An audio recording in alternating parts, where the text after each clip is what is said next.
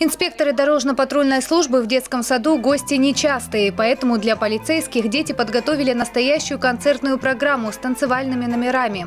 Приходи, пожалуйста, в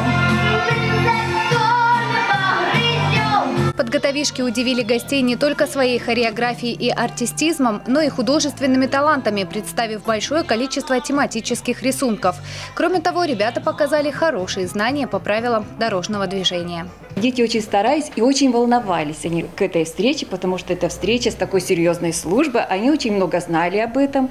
И, конечно, они рассказали нашим, нашим гостям.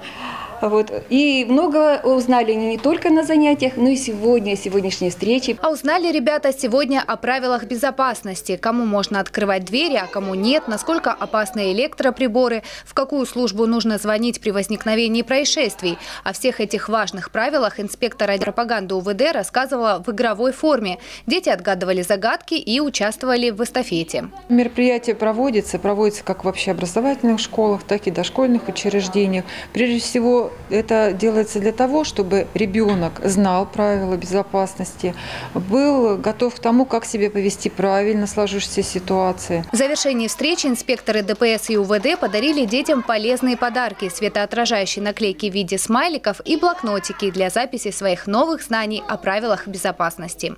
Татьяна Говоркова, Михаил Дубинин, телекомпания «ФКТ».